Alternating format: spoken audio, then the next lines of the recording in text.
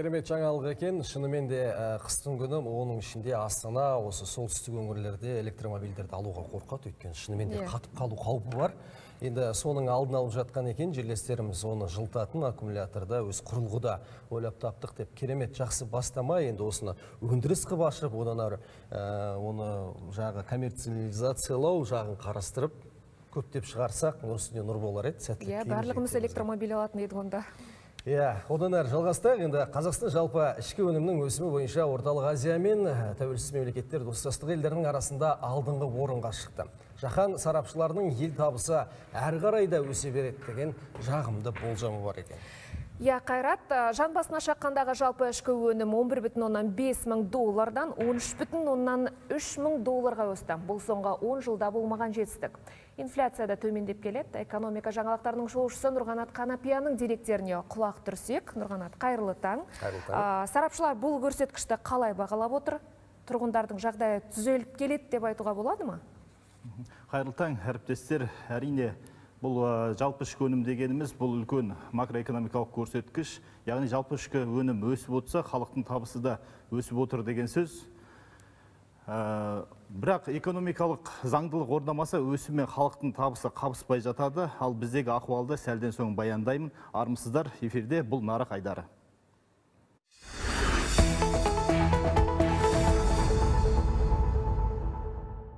Экономикасында оң серпіліс бар. Биыл саладағы өсім 5 пайызға жуықтады. Былтыр 3 пайызға да жетпеген еді. Финпром порталының дерегіне сүйенсек, жыл соңына дейін қазіргі бағадағы жалпы ішкі өнім 260 миллиард долларға жақындайды. Осылайша былтырға көрсеткіш 15 пайызға артады.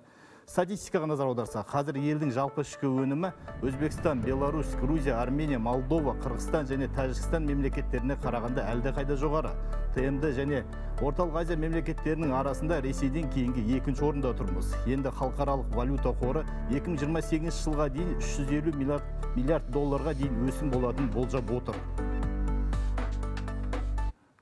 Ал үкімет алдында 2029 жылға қарай жалпы ішкі өнім 450 миллиард долларға жеткізу міндеті тұр. Бұл межеге жету үшін экономика жыл сайын 6 пайызға өсіп отыруға тиіс. Енді Қазақстан өңдеу саласына басымдық береді.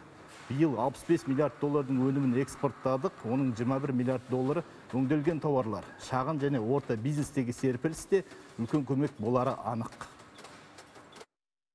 шағын және орта бизнесте жұмыспен қамтылғандардың саны 4 миллионнан асты. Ағымдағы жылы жалпы ішкі өнімдегі шағын және орта бизнестің үлесі 36,4%ке дейін жетті. Жалпы мемлекет қабылдаған шаралар шағын және орта бизнес өнімдерін шығаруды 23 триллион теңгеден 29 триллион теңгеге дейін арттыруға мүмкіндік берді. Үкімет әкімшілік жүктемені азайтып, бизнесті жүргізу жағдайларын жақсарту бойынша жүйелі шараларды іске асыруда. Сарапшылар геосаяси ахуал кезінде мұндай көрсеткішке жетуді өте жоғары бағалап отыр. Олардың пікірі бойынша алдағы 5 жылда жалпы ішкі өнімді өңдеу өнеркәсібі өрге сүйрейді. Қызмет көрсету саласы да дамуын жалғастырады деген болжам бар. Ел экономикасына инвестицияда қарқынды құйылып жатыр. Осының бәрін саралай келе 2029 жылға дейін жалпы ішкі өнімді 450 миллиард долларға жеткізуге әбден болады. Айтпақшы ұлттық экономика министрі инфляцияның төмендегенін хабарлады. 20 пайыздан 10 пайызға түсіпті. Бірақ экономист мақсат халық бұған ішкі емес сыртқы факторлар әсер еткенін жазды. Рубль қатты құнсыздануы Ресейден келетін тауарлардың бағасын арзандатты. Тиісінше елдегі инфляция бәсеңдеді. Менің пікірімше екі таңбалы инфляция сақталып отыр. Демек тауарлар бағасының өсу қарқыны әлі де жоғары. Жан басына шаққандағы жалпы ішкі өнім 13 мың доллардан асып, табысы орташадан жоғары елдердің қатарына қосылдық.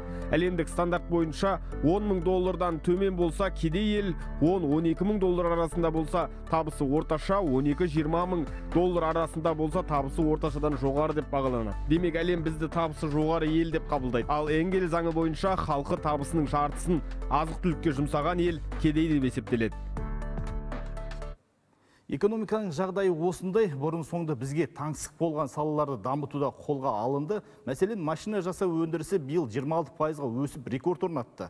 Енді жыл соңына дейін 1,6 триллион теңгенің 296, 296 жобасы пайдалануға беріледі.